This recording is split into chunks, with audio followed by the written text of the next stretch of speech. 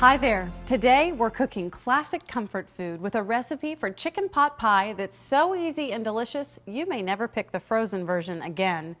This recipe is bursting with colorful veggies and tender chicken. Plus, it's much lower in sodium and fat than the packaged variety. So let's get to it. First, I'll preheat the oven to 350 degrees. Now, let's start by cooking the chicken. We're using one pound of chicken tenderloins with the skin and visible fat removed. So the secret to tender chicken is to cook it at a low simmer. Just place the chicken tenderloins in a saucepan with enough water to completely cover the chicken by about half an inch.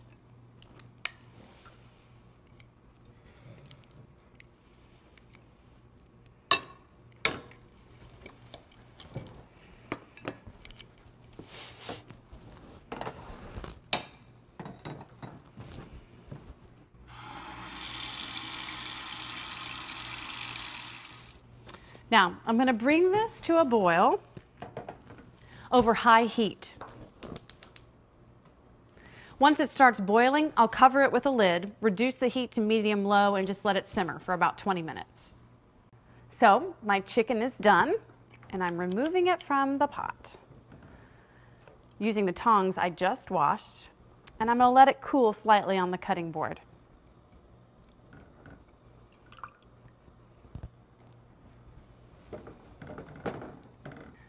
Okay, next, I'm going to cut it into bite-sized pieces.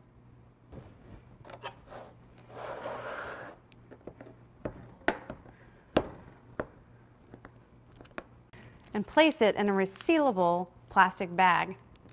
I'll pop it in the refrigerator to keep it at a safe temperature while I prepare the remainder of the pot pie. Now, if you want to get a head start on dinner, do this chicken prep the night before and refrigerate overnight. Then the rest of the recipe will come together quickly on the next day. Now I'm going to cook up one potato separate from the rest of the vegetables because the potato takes a little longer to cook. So to cook it, place the bite-sized potato pieces in a medium pot with cold water immediately after you finish cutting them to prevent them from turning brown. If you need to add a little bit more water to make certain they're covered, do so.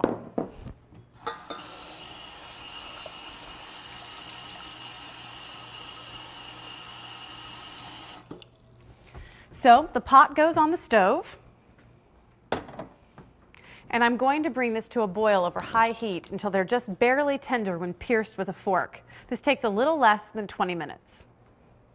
So my potatoes are done. I'm going to drain them and set them aside until I'm ready to assemble the pot pies.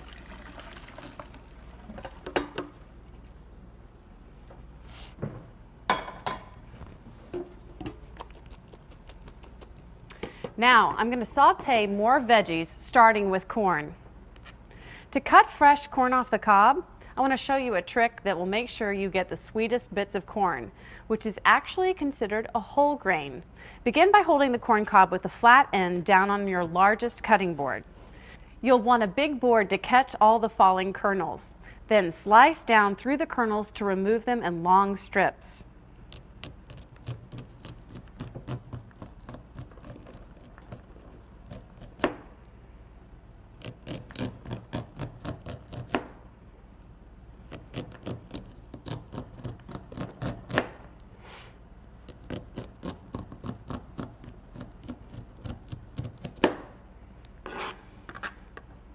Next, make sure you turn your knife on the side and scrape down the cob to remove all the sweet, milky corn juice. It's the sweetest part and it will help thicken the pot pie sauce. I need one cup of corn, which is about one to two cobs depending on their size. Now, over to the stove. In this large sauce pot, I'm going to heat a teaspoon of olive oil over medium-low heat.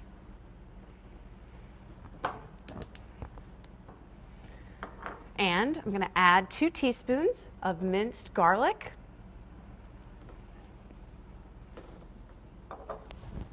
Three quarters of a cup of thawed frozen peas.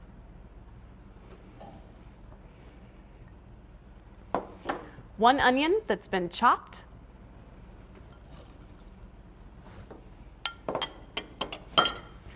three quarters of a cup of chopped carrots, half a cup of chopped celery, and those sweet corn kernels and the corn milk.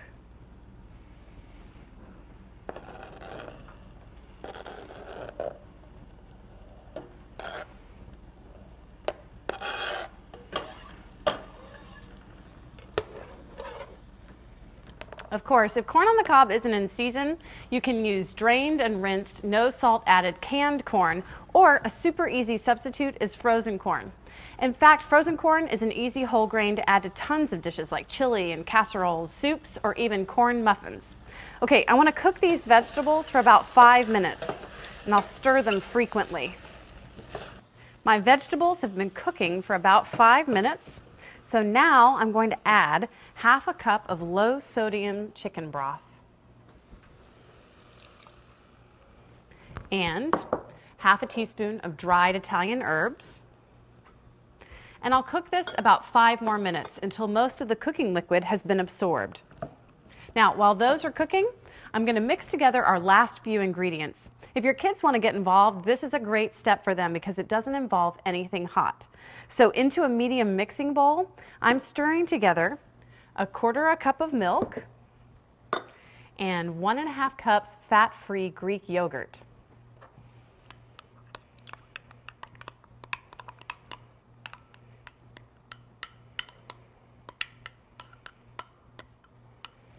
Plus the reserved cold chicken.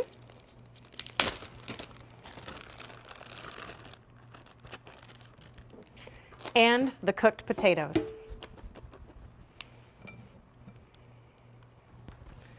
The milk and yogurt really increase the protein and bone strengthening calcium content in this dish.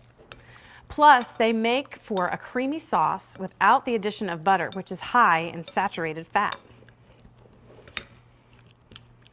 Now, to put it all together, make sure you've removed the cooked veggies from the heat. Now, add the cooked veggies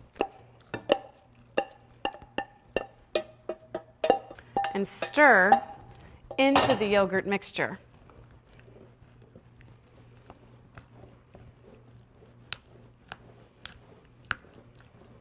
Pour the whole yogurt chicken veggie mixture into a 9 by 9 baking dish that's been coated with cooking spray.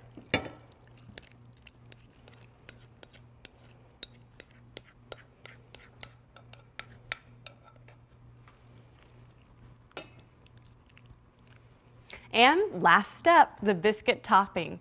Take a can of pre-made low-fat buttermilk biscuits out of the refrigerator.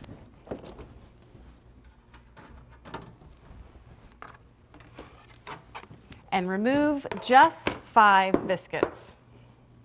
Cut these five biscuits into small half-inch cubes.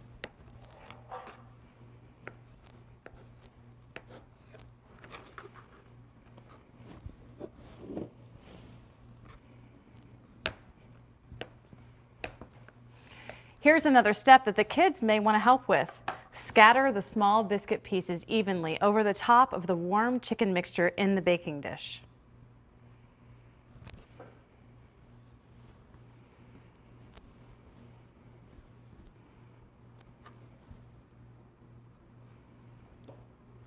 Then just pop the baking dish into the oven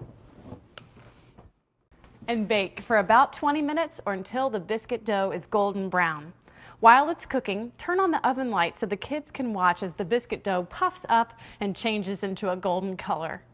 My kitchen smells amazing. And here's the finished chicken pot pie. And when you serve this dish warm, everyone will certainly enjoy this healthy comfort food at its best. Bye for now.